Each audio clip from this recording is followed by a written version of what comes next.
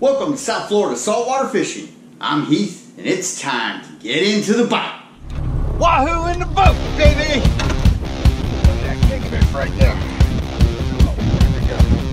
I mean, you talk about epic fishing days. Yeah! Nice bull dolphin right there.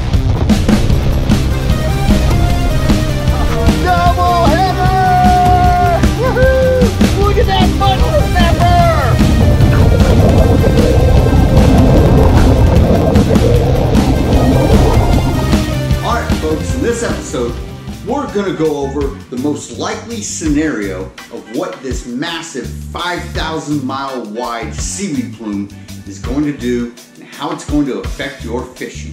Before we get into this, though, if you want to learn more about fishing, grow as an angler, just see some great and exciting offshore fishing adventures, you can start by hitting the subscribe button.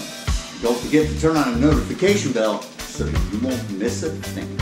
All right, folks, so in case you haven't heard about it, there is this massive 5,000 mile wide seaweed plume that has happened. The Sargasso Sea blooms once a year. Sargassum weed floats up to the surface, and the Atlantic currents, which flow in a circular pattern, bring it towards Florida. So as we look at thermal imaging from satellites, you can see this is massive. Yet it's not one big clump like you would imagine. It's scattered all over the place in massive clumps, and as the wind and currents direct it, it will break apart.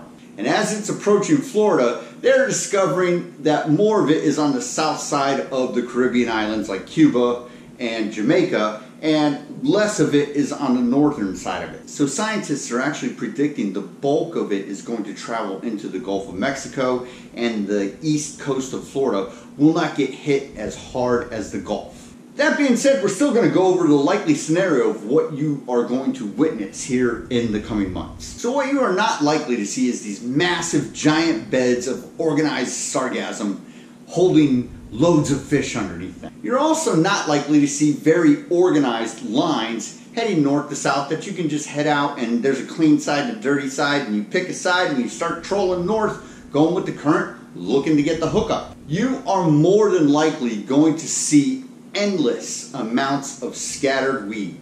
And so what happens with these scattered weed lines as the prevailing winds shift from northeast to southeast is you get lines of scattered weed that go with the current breaks. So what it's going to look like to you is scattered weeds, little scattered weed patches all over the place. They're going to be a nuisance if you're trolling, you're going to be picking them off. But you're going to have to sort of follow the pattern that will be heading from, you know, we got a southeasterly wind, right? And we're going to have all these patches of weeds. So in there, there will be current breaks.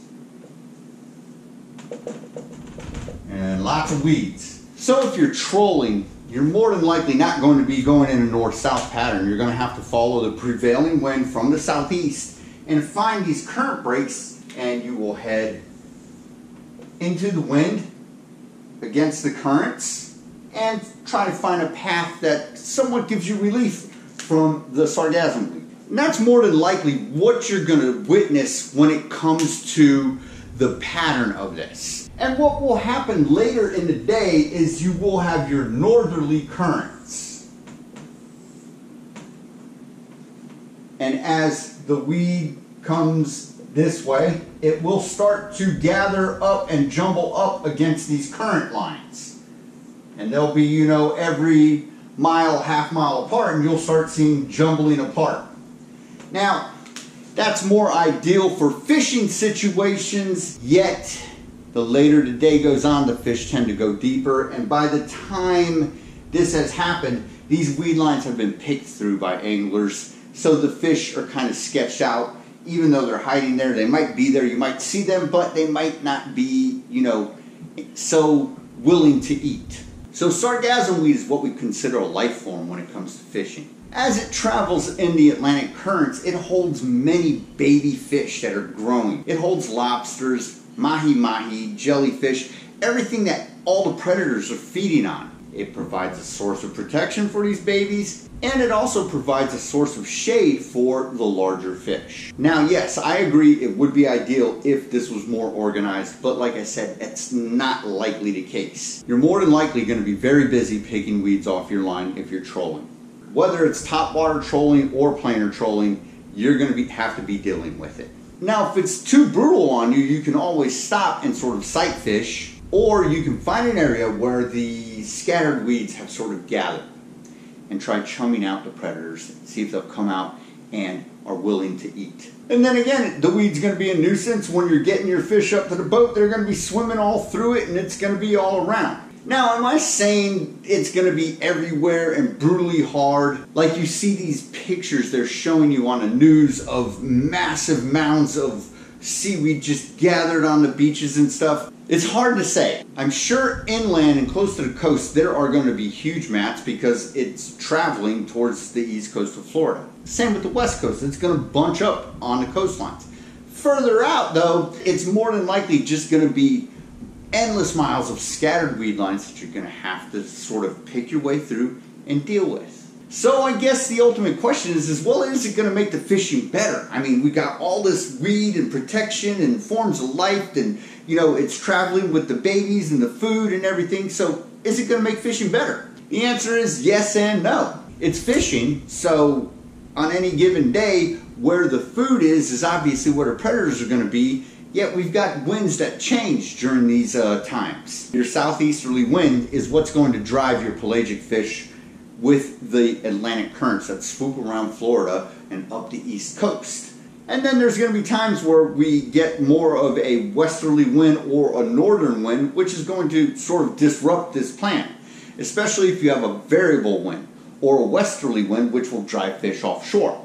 If you have a variable wind, that sort of turns fishing off and they go down deeper. Like I said, you're more than likely going to be doing a lot of running and gunning fish this summer. Which means you're to have to bust out those spro jigs or your sight pitching lures, your poppers or whatever, or get your cut bait and chum them up and wait for them. Live baiting too, with your pilchards, or your ballyhoo, whatever, head offshore. Okay, and so when it comes to how is it going to affect our fishing also, there's a common question asked. Well, hey, isn't it going to sort of block out the sun and uh, take away the oxygen from the fish and sort of suffocate them? The answer is no. Sargassum weed is not inherently toxic to either humans or fish. It's a plant. It grows.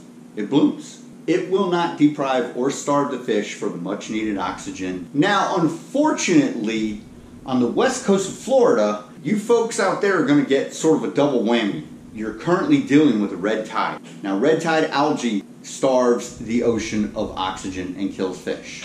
It's also toxic in the air to humans in abundance. And now, coupled with that, they've got a lot of this seaweed coming their way too, which is not going to help the smell and the air quality and sort of the water quality in the Gulf of Mexico, which is shallow for miles on end. Okay, and so speaking of this large mass of seaweed that's heading towards our coastlines, there are a couple of ways that are being thought of of how to deal with it. The first way is actually manually removing it with front loaders and stuff on the beach. You may have seen this before when there's massive buildups of sargassum on the beach and the sun starts making it decay and it's stinking and it's actually causing lung issues with people, they bring in the heavy artillery and they actually start manually removing it. More recently, scientists have developed an idea that they can actually sink the seaweed. What their idea is, is they have all this seaweed mass built up. The scientists believe that they're going to be able to run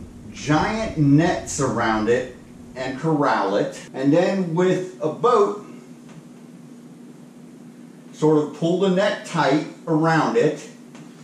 And then they will submerge it. If you ever looked closely at sargassum weed, you'll notice little balls in it, which are air sacs that make it buoyant, make it float. Once you submerge sargassum to a certain depth, those air sacs actually deflate and the seaweed is no longer buoyant and it sinks. So they're going on this theory that they're going to be able to gather large masses of it and actually sink it down to the bottom of the ocean. The ultimate long term effects of what they're planning on trying to do have yet to be seen. We won't know about it for years, maybe even decades. But this is an idea of what they are trying to actually do. All right, folks, and so that's pretty much what we're looking at in the coming months from this giant seaweed plume and how it's going to affect our fishing. It's not going to be too much different than what happens every year, yet it's going to seem a little bit more exaggerated. Like I said, the Sargasso Sea has bloomed like it does every year, and that's what recreational fishermen and charter fishermen wait for is all this to come in and bring the mahi mahi in in particular. Yet this year is going to be a little bit more challenging simply because of the massive amount of sargassum headed our way. Alright folks, that about does it for this episode. Hope you had fun, hope you enjoyed. And I hope you learned a little bit about what to expect when it comes to fishing and dealing with this sargassum in a couple of months ahead. Till next time, South Florida saltwater fishing, going wherever the cool wind takes us.